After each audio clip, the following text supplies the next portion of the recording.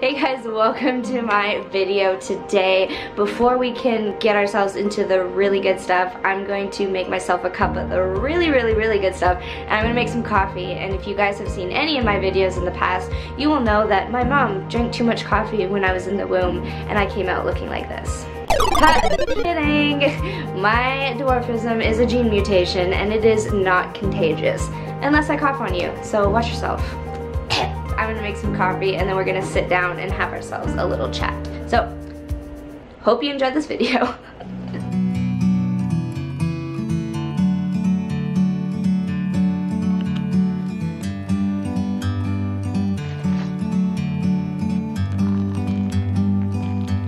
like a bird on a tree.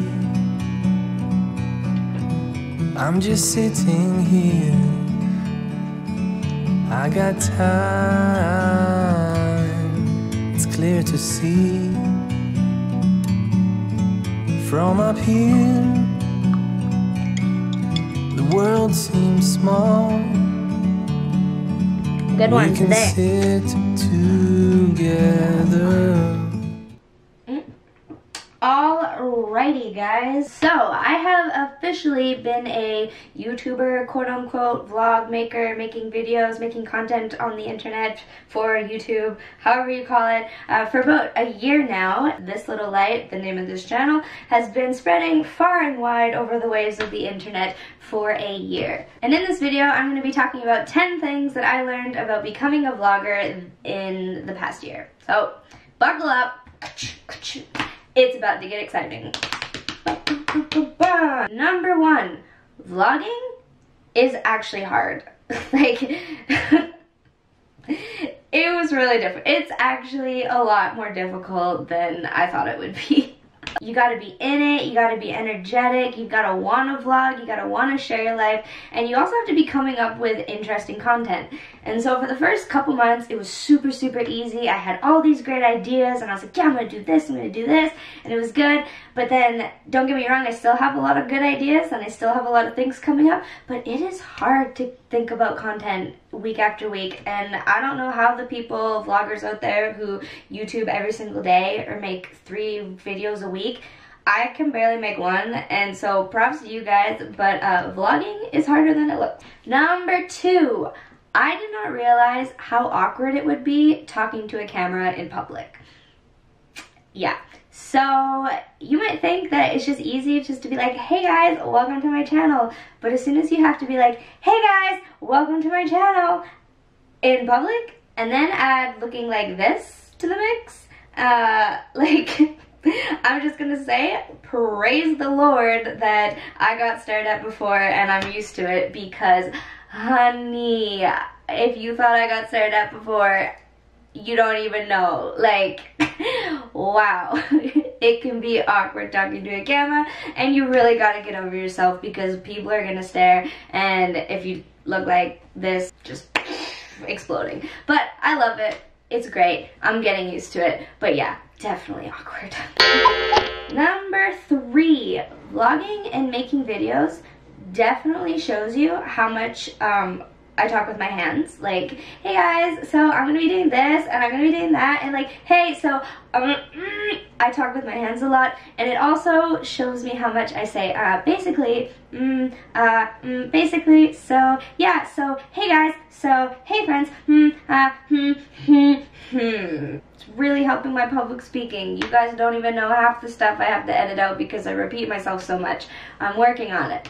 It's a work in progress. Aren't we all though? Hmm, it's great. But yeah, definitely did not realize how many times I make mistakes when I talk. So, it's helping me. Personal growth. Great. Love it. Hmm. Number four. I had no idea. Like when I say no idea, I mean no idea how long editing videos would take. a bunch of you guys asked what I edit my videos with, and I use a software called Filmora, and I just use the free version, and it's been great up to this point. Like, gets the job done, does what I need it to do. It's really easy to use. Like, some of the videos that I've done have literally taken me days to, excuse me, Wow, that's awkward. Um, they've literally taken me days to finish because you have to import the footage, you have to go through the footage, you have to figure out what you like, what you don't like, you gotta put it in, you gotta line it all up, and then you've gotta copy, paste, cut, split all the clips and make it into an actual video. And then what I do is I go back and I watch the whole video and I take out things I don't like, do like a second review, I make it shorter, try to make it a little bit more precise so it's better, and then I filter things, like color correction, all that stuff in that process. And then I go in and then I add in all the text, all the Bible verses that you see, the little emojis, the little like add in all the filler videos so that like the Three hours later. those SpongeBob videos, uh, I put all that stuff in then. And then what I do is I find a song to match kind of like the flow of the video because I usually like to edit everything and then kind of see what I'm feeling. Or other times I will pick the song first and then match my video to the song. But the whole song selection in itself is really uh, time consuming because you got to figure out what you like, make sure it's not copyrighted, and that's the whole process. So really the whole editing process, like props to you guys who do it all the time and who are super professional at it because it's a lot of work and I wasn't expecting that. Definitely didn't know that before. So if you're gonna start a YouTube channel, prepare yourself for the work and the awkwardness and the vulnerability. And that was a perfect segue into number five, which it takes a surprisingly large amount of faith to open yourself up to an audience that you don't even get to see. Some of my videos have been really vulnerable, really open. I'm really open about what God's teaching me, what I'm learning, what I'm struggling with, what I'm going through, how the world treats me. And I don't know everyone who watches my videos. I don't get to see you guys watching them. I don't know what your opinions are of what I'm saying. I don't always know what your opinions are of me. Not that they should matter, but I just don't know really like who's all out there when I'm talking to a camera. So it has taken a lot of faith just to trust that what I'm doing is shining a light into somebody else's life to hopefully make their day a little bit brighter. And that's really just the message behind this little light is that I want my light to shine. And if that can ignite the light in somebody else and then if your light is ignited by something that you've heard then you can go and ignite the light in somebody else and so on and so on and so on and so on. And then the world just gets super bright and we are all living in the light. And that is the goal. If you did not get your merch this is a merch plug. I will be doing merch sometime in the near future again so you can hop on the bandwagon. New content all the time. We gotta look cool repping our lights and might as well do it in one of these shirts. So stay tuned for more merch or comment below if you are interested in that but that is the end of my plug but all that being said, before we move on, I love being open, being real, and being vulnerable with you guys, and it has been such a great learning experience this past year. So don't get me wrong, I love it. Number six, do not start a YouTube channel to get famous. 99% of the time, it is not gonna work. You are not gonna be viral. I hate to rain on your parade, but don't start YouTube with the idea that you're going to get famous because you will just be setting yourself up for disappointment. Sorry. Before I started my channel, I really wanted to make sure that my heart was in the right place and I didn't want to be making videos for like instant self-glorification, gratification, anything like that. But instead I just want my videos to point people to a light that is available to everyone and that could hopefully just brighten their day. There's something that I'm going through and if I'm being honest and vulnerable and that helps one of you guys out there, that's all that matters at the end of the day. Who cares about money? Who cares about fame? But if somebody else is blessed from something that I've learned or that I've gone through, amen to that. Like, it's all worth it. So that is why I started my channel. But uh, definitely it is enticing to want to make money and to want to get all famous and whatever. But don't start your YouTube channel on that premise because you will just set yourself up for disappointment and there's enough disappointment in this world. I've got enough disappointment in my life. I don't need to be adding to that. So we don't need any unnecessary disappointment. So let's just not do it in general. Alrighty, okay, now number seven, you can't have expectations. Something I've learned about vlogging and having a YouTube channel are expectations set you up to be disappointed. Kind of like what I just mentioned in the previous one. So don't have expectations. Um, in the beginning, I had some expectations about how many views I would get, how many subscribers I'd get, likes, like if I was gonna go viral and I was like, had these expectations like, okay, this video needs to hit this much and this much and this much. Yeah, I can't control who watches my videos. I can't control who likes them, who who likes what I'm saying and who doesn't. Like that's on you guys. That has nothing to do with me.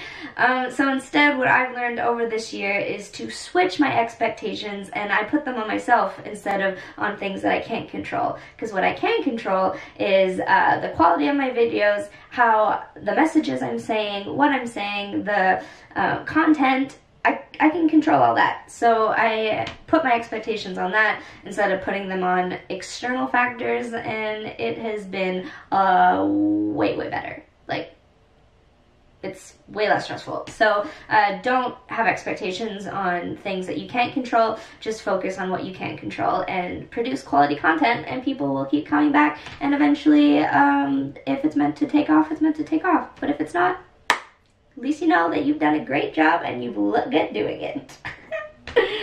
oh man, I am having too much fun today. Oh, yes, number nine. I remember. I need a gimbal.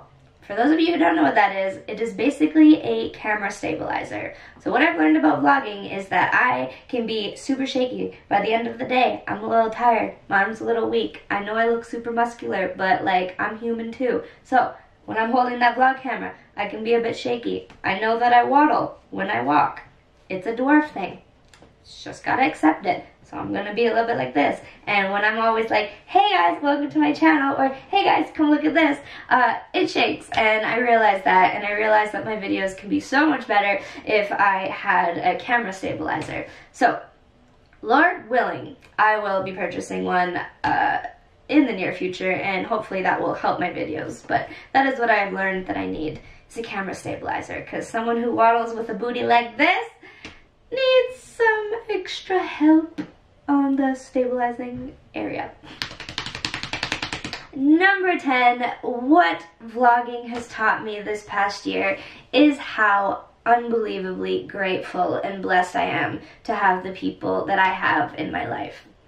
Like, even if we haven't met, I'm grateful that you are there. And I'm grateful for you, and I'm grateful for your life.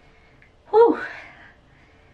Like, I am really blessed and I am so thankful for you guys. So thank you to everyone who has supported me, loved on me, prayed for me, and encouraged encouraged me because I couldn't have done it without you, without Jesus, and I've got both, and I'm so thankful for that. So thank you guys. I I honestly love you. Like, yeah, I am quite uh, happy. So yeah. Um. Anyways, that uh, yeah. I don't really have anything else to say because I'm just, I'm just really thankful and I'm like, thank you guys. And I just can't wait to see where this goes. So, thank you. I don't really have anything else to say. um, yeah. It's been a crazy year and I'm really excited to see what God does with this channel because yeah. So, anyways, on that note, um, keep watching my videos, like and subscribe, praying for you all, keep shining your lights, and we will see you again next time on another episode of This.